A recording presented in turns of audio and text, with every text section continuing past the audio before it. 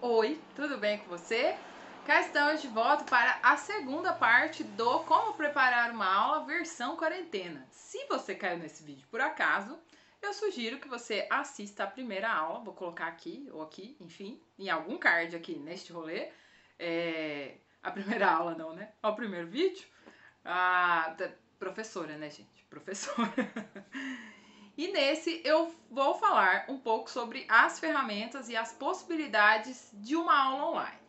Então, vamos pensar o seguinte, né? Vamos retomar a discussão lá do outro vídeo de que nós temos que estar, enquanto professores, abertos ao aprendizado.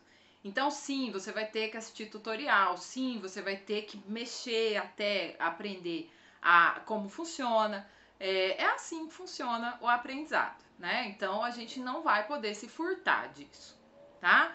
Ah, isto posto, né? Depois que você fez o planejamento, que você pensou, existem algumas ferramentas que a gente pode usar. Não, não usar todas de uma vez ou usar todas de uma vez, não sei, aí vai depender de você. Eu fiz o Stories, é, deixei um Stories fixo lá no Instagram, o link tá aqui embaixo com os links e os tutoriais e as possibilidades de tudo isso que eu vou falar aqui, tá? Então, tudo que eu tô falando é só você ir lá nesse Stories fixo e abrir lá, vai ter os links para você ir, para você poder é, ver como é que é e tal. E se você ainda não é inscrito no meu Instagram ou no meu canal, se você chegou agora, vamos aí dar a sua inscrição para professora, não é? Ah, então, Primeira coisa que né, a gente pensa em aula online é a gravação da aula. Então, para gravar, você vai precisar ou de uma câmera, ou do próprio celular, de um tripé, ou apoiar o celular em algum lugar, né? É, o tripé não é uma coisa cara, tipo, ele custa 20 reais. Acho, eu tô usando agora um tripézinho, mas eu tenho um tripé maior que eu acho que eu paguei 40, 50 reais. Uh, se você não tem um tripé, você consegue posicionar. Quando eu comecei no YouTube, eu não tinha, né? Eu posicionava ele ali num livro, um livro de um lado, um livro do outro, e dava para fazer uma gambiarra. Uh, e aí você tem que pensar no que a sua aula online é uma continuação da sua aula na sala. Tem muito professor que está falando assim, ai, que eu erro e tenho que começar a gravar tudo de novo. Se você tivesse em aula e errasse, o que, que você ia fazer? Você ia falar assim, não, pera, vamos voltar tudo? Não, você ia continuar dali, né? Ó, quem. não foi por querer, mas quem nunca tossiu, espirrou, quase caiu, não é? Derrubou as coisas em aula. Isso acontece, é, é normal. Então, se acontecer no vídeo, tá tudo bem também. Tá? É legal, o aluno vai rir, ele vai se sentir mais à vontade, porque, né, querendo ou não, você tá falando com uma câmera e ele tá assistindo a uma câmera, né? Uma tela. É, então não se preocupe com isso, tá? Ah, errei alguma coisa, deixei alguma coisa cair, tossi, gaguejei. Vai na fé, continua aí seu vídeo. A não ser que você manje dos Paranauê de editar, que é uma coisa que eu não, não sei, por exemplo. Eu não tenho vídeo editado. Tem dois vídeos no canal que são editados, que é na, na época que eu dava aula numa escola online, que a menina editou pra mim bonitinho, mas tirando isso, minha gente, é, ó, é como se fosse uma aula mesmo. Então, faz assim. O que, que você tem que pensar? Se o seu vídeo for muito longo, o aluno vai ficar meio disperso. Normalmente ele já é em sala, né? Então, é, modula bem sua voz, uh, faz perguntas como se ele realmente estivesse aí do outro lado, né? É, eu, quando tô dando aula, eu faço aquelas pausas, né? Pô, ah, sei lá. Na oração, Patrícia estava falando. Quem é o sujeito? O sujeito é. Aí, pô, ah, Patrícia, sabe? Porque assim você torna um pouco mais natural a sua gravação. É, e não se cobra tanto, sabe? Você tá se adaptando a uma realidade nova, então faz o seu possível, faz o seu melhor, que com certeza seus alunos vão, vão, vão apreciar o seu trabalho. E aí, por falar em aluno, se você tiver alunos daqueles que são parceiros, peça para eles te ajudarem. É, por que não? Se você é um professor que conhece a tecnologia, ajuda os seus colegas. Eu falei no outro vídeo, eu vou falar nesse de novo, porque mais do que nunca esse é o momento de a gente se ajudar, né? Enquanto comunidade, enquanto profissional, enquanto pessoa. É... E aí, ah tá, mas como é que eu vou gravar? Bom, se você não tem um quadro, teve uma galera que conseguiu comprar quadro e tal. Eu fiz esse aqui com papel contact, ó. Sim, isso aqui é papel contact. Sim, ele escreve. Vou escrever aqui. Só que acho que vai sair espelhado, né? É, sai espelhado aí porque tá na câmera frontal. Ah, pra apagar, é que são elas. Só dá pra apagar bem, ó, tá vendo? Só dá pra apagar bem com um pano molhado, que inclusive tá aqui. Deixa eu pegar. Ó. Com o pano molhado ele apaga. Tá? Aqui, eu apaguei aqui na minha cara. Ah, ah, só que não dá para escrever com ele molhado assim. Então o que, que você tem que pensar se você for usar esse recurso? Do papel contact fosco. Eu vou colocar lá no Stories também, certinho, tá? Que você tem que fazer um quadro só. Porque senão demora para secar se bem que hoje tá secando, porque tá um calor do cão aqui em Campo Grande. Ah, então, ó, até que deu agora, né? Mas eu, eu, eu planejo um quadro só. Eu faço o quadro primeiro no, no, no papel para pensar o espaço, né? Pensar o espaço do quadro é importante. Ah, e aí depois eu escrevo aqui. E depois que você gravou todas as aulas, aí eu passo um pano molhado, bem molhado com álcool, e aí ele fica assim, sem mancha mesmo. É que aqui eu tinha escrito aqui achando que ia dar, mas ficou espelhado. Então, uh, esse meu tem uma foto lá no Instagram, ele tem 1,80 por 1,5, que é o espaço que eu tinha aqui no escritório, né, no, no, no meu quartinho de trabalho. É, usei toda a minha parede aqui para poder fazer esse quadro. Então, se você tiver um espaço para poder fazer isso, massa, né? É, e o papel contact, gente, eu não tinha facilidade nenhuma com contact. Coloquei isso aqui, ó. Tudo bem que eu tive que tirar e pôr umas duas vezes, porque tava torto o negócio, né? Mas coloquei tranquilamente, com a ajuda de uma régua, fui lá. Ah, eu não sei. Ah, a delícia de morar numa avenida. É, eu não sei se existe diferença entre marcas. Eu, eu fiz o pedido numa. Eu já estava em quarentena, né? Tentando pensar como é que eu ia dar aula. Eu fiz o pedido pelo WhatsApp numa livraria que fica aqui perto de casa. Eles também não estavam com a loja aberta, eles estavam atendendo pelo WhatsApp. E comprei. É, esse aqui deu 5 metros de papel contact, porque ele tem 45 centímetros de largura. Ah, e aí eu paguei 9,50 porque é um, uma papelaria meio carinha, né? Por causa do bairro e tal. Mas provavelmente dá para achar mais barato, por 7 reais, 6 reais o metro.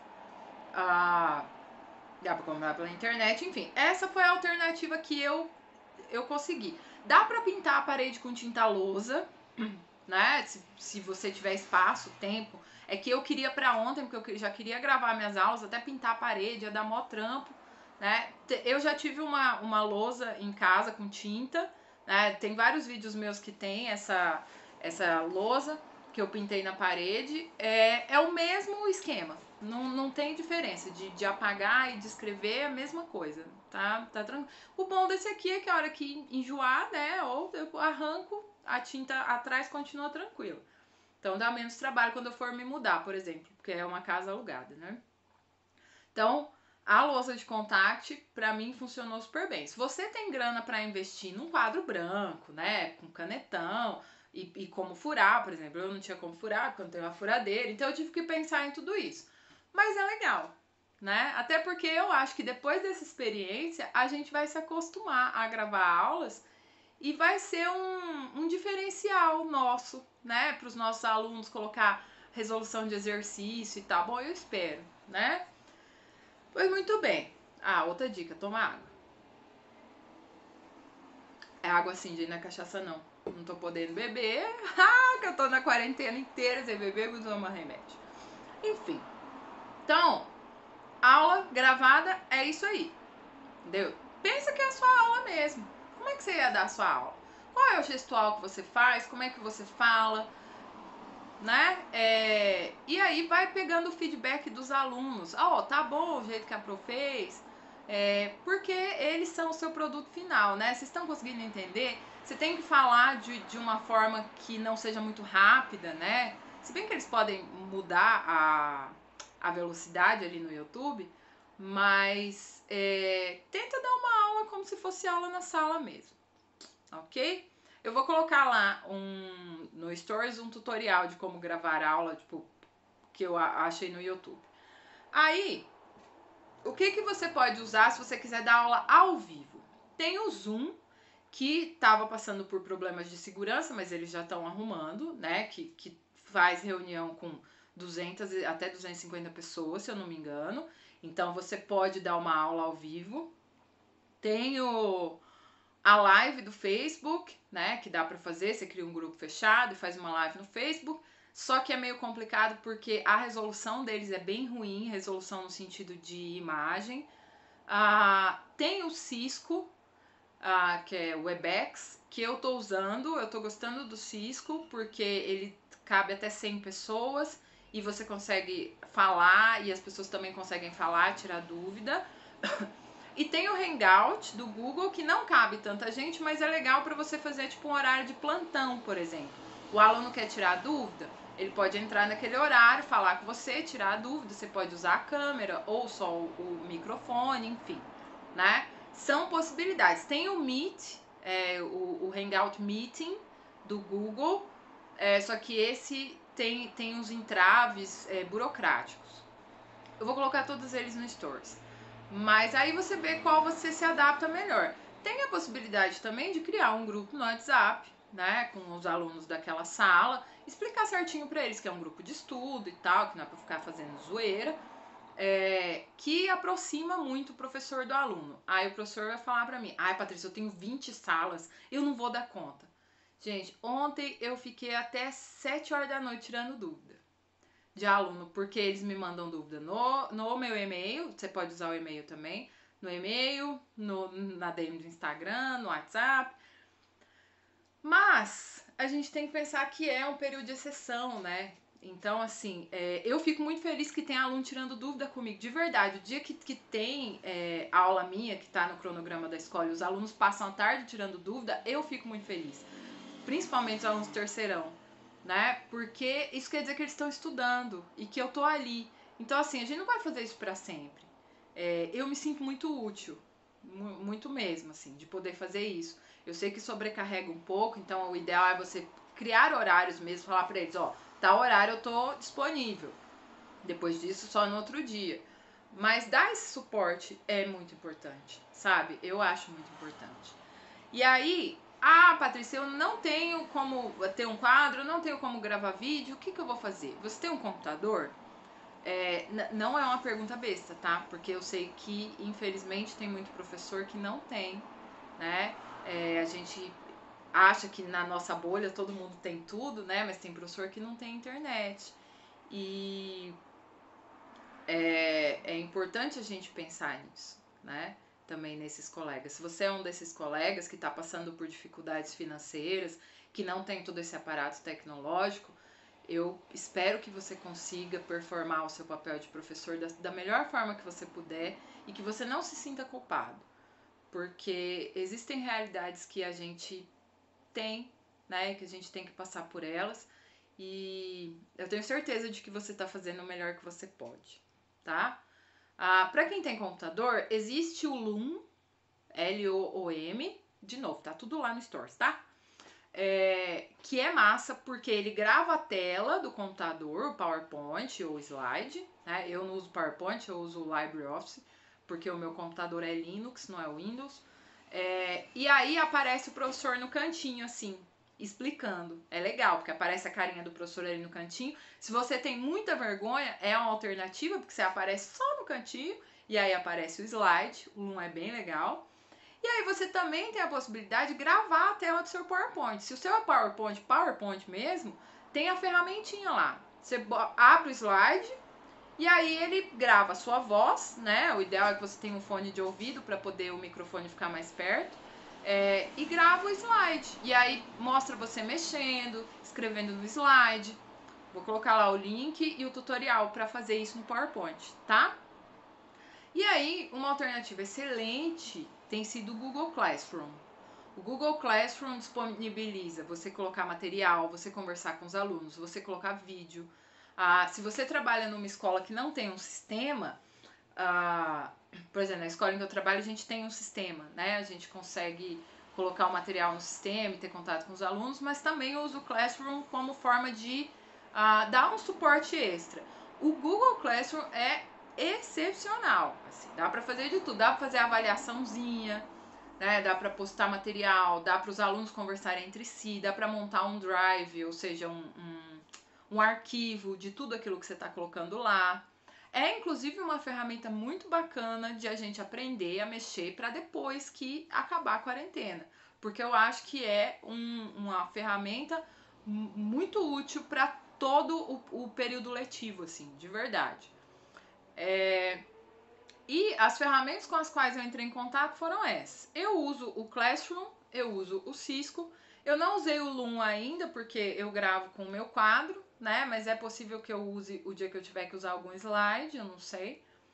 É, e se você está usando alguma outra ferramenta que eu não falei aqui, compartilha com a gente. Fala qual é, qual a sua experiência com ela, dá um link para a galera poder dar uma olhada. Porque, né, essa, essa, como eu disse antes no vídeo, como eu disse no outro, é, é um período muito importante para a gente se unir, para a gente é, tá, tá apoiando um ao outro mesmo, né? Então, a, você acabou. Eu fico pensando na galera que começou a dar aula esse ano, oh meu Deus. É, respira fundo, faz o seu planejamentinho tá? Pensa qual é o seu aluno, qual é o tipo do seu aluno, qual é a atividade que você pode passar para ele, para que ele possa fazer sozinho em casa, ou no máximo com auxílio dos pais. É, se você é pai, mãe e está assistindo a esse vídeo, é, eu acho que talvez você esteja entendendo um pouco o que a gente passa na escola, não é mesmo? É, e eu desejo muita sorte para você, porque a gente tem a, a, né, a gente tem a didática, a gente sabe fazer isso, e vocês estão aí é, se virando também, que eu sei, tá todo mundo se virando, né, gente? Tá todo mundo fazendo o melhor possível é, para continuar levando o aprendizado e a educação para essas crianças e esses jovens que é, precisam dessa. Quem sabe agora, né, a gente consiga entender a pedagogia da autonomia do tio Freire, que é fazer com que esse aluno seja responsável pelo próprio conhecimento. Que nós, professores, sejamos uma, uma ferramenta para que esse aluno chegue ao próprio, ao próprio conhecimento, ah, que nós não sejamos os detentores desse conhecimento. Olha que bonito, é, é uma, eu acho uma oportunidade muito bonita de a gente pensar nisso agora, né, né, na situação em que a gente vive. Então, é isso. As ferramentas estão lá no Stores. Eu espero que tenha sido útil. Lembrando que a participação de vocês nos comentários é essencial, não é? Ah, nos ajudemos, tenhamos força. Eu espero que vocês estejam bem, que vocês estejam se cuidando e a gente vai conseguir sair dessa, né? Como eu falei no outro vídeo, a gente é incrível. A gente é professor, gente. Uma pessoa que dá aula para uma sala com 40 crianças, meu amor, veja bem, não, não sabe? É uma experiência que ninguém, quem nunca passou por isso não tem noção. Então, muito obrigada pela companhia. Ah, obrigada por estarem aqui dividindo o seu tempo e seu espaço, seu conhecimento comigo. A gente se vê na semana que vem. Um beijo e até a próxima.